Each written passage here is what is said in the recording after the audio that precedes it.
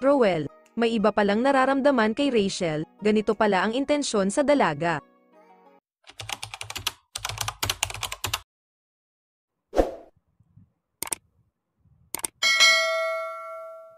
Panoorin po muna ang full video, para malaman ang nilalaman nito.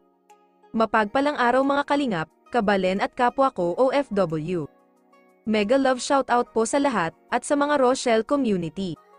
Bago po natin simulan ang ating munting topic, pakisuportahan po natin ang mag-amang charity vlogger na si Kuya Val Santos Matubang at Kalingap Rab at isama na rin po natin ang mga Kalingap partner. Huwag po tayong mag-skip ng ads para marami pang kababayan natin na kapuspalad ang matulungan. Grabe ang dalang kilig ng love team ng Rochelle, bata, matanda may buhok man o wala. Talagang iba ang chemistry ng dalawang ito, ang daming napapasaya.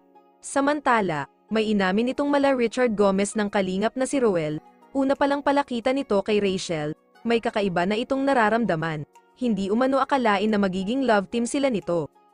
Siya umano ang babae na kahit wala itong makeup maganda pa rin, natural ang ganda. Di tulad umano sa mga iba niyang nakikilalang babae. Nasa kanya na umano ang hinahanap sa katangian ng isang babae, iba umano, nakakatulala ang kagandahan nito. Dagdag pa niya, maganda ang intensyon nito sa dalaga. Mabait din itong si Roel, may respeto kay Rachel. Mapagkumbaba, walang yabang sa katawan at matalino. Makita sa salita at gawa, kung paano pinalaki ng magulang. Sana in the future magkaroon ng katotohanan ang kanilang love team, tiyak na marami ang matutuwa. Sabi nga ni Roel, kung ipagkaloob umano ng Diyos, hindi daw umano siya makadecide kung siya ang piliin ni Rachel, si Lord na umano ang bahala kung ano mangyari sa hinaharap, dagdag pa niya, sa ngayon, focus na lang muna sa kani-kanilang mga karera, pero hindi pa rin mawawala ang kanilang komunikasyon sa isa't isa. Sa mga hindi pa nakapanood ng full video, bisitahin lamang po ang channel ni Kalinga Prab sa mga iba pang updates. Love love love!